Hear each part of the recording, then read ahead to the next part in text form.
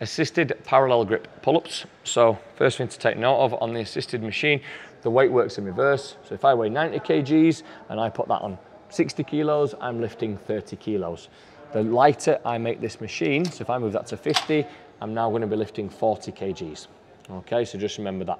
Now, when I jump up, if this plate is not lifted up already, make sure that you just pull it out till it clicks into place. Walk up, parallel grip is gonna be your middle grip, so your palms are roughly facing each other.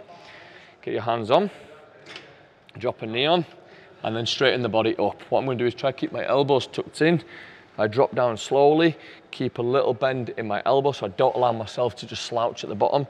Keep a little bend in the elbow, pull up, pulling the elbows out slightly to the side, and then holding with the tension coming through my back. Come down slowly, pause, and then pull up nice and slow, pinching the shoulder blades back at the top. Make sure that we don't round our back at the top of this one. Always keep your chest up and out. Down slow to the point where you've still got a little bend and tension in your back, and then pull up, hold the tension in the back at the top. When you're finished, just step off and then gently release your second leg.